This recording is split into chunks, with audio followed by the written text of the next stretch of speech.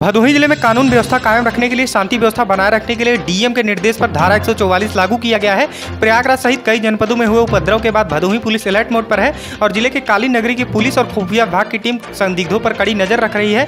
रविवार को भदोही जनपद पुलिस ने सोशल मीडिया पर दंगा भड़काने के आरोप में और धर्म विशेष पर अभद्र टिप्पणी करने के आरोप में दो व्यक्तियों को गिरफ़्तार किया है। ज़िले के तेज तर्राक पुलिस अधीक्षक डॉक्टर अनिल कुमार के मास्टर प्लान का नतीजा सामने आने लगा है। सोशल मीडिया पर हिंसा भड़काने वाले लोगों पर पुलिस की कड़ी नज़र बनी हुई है। एसपी डॉक्टर अनिल कुमार ने जानकारी देते हुए बताया कि नूपुर शर्मा के विरोध में तमाम जगहों पर उपद्रव की घटनाएँ हुई हैं, लेकिन भदोही वासियों ने अब आपसी भाईचारे का संदेश दिया है। ज़िले में कानून व्यवस्था, शांति व्यवस्था कायम है। शांति में खलल डालने के आरोप में सुरियावा थाना क्षेत्र के मतेतु गाँव निवासी मोहम्मद चौधरी अजहर और शहर कोतवाली इलाके के रया गाँव निवासी दुर्गेश सिंह को पुलिस ने गिरफ़्तार किया है। इन दोनों व्यक्तियों के खिलाफ सोशल मीडिया पर एक दूसरे के खिलाफ धर्म विशेष के अभद्र टिप्पणी करने का आरोप लगा है। गिरफ़्तार दोनों आरोपियों के खिलाफ सुसंगत धाराओं में पुलिस ने मुकदमा दर्ज कर लिया है और उन्हें जेल भेजने की कार्रवाई की जा रही है। एसपी डॉक्टर अनिल कुमार ने जनपद वासियों से अपील की है कि कोई भी ऐसा टिप्पणी ना करे जिससे किसी के धर्म पर ठेस पहुँचे। अगर कोई व्यक्ति सोशल मीडिया पर धर्म विशेष धर्म विशेष के खिलाफ अभद्र टिप्पणी करता है तो उसके खिलाफ सुसंगत धाराओं में मुकदमा दर्ज करके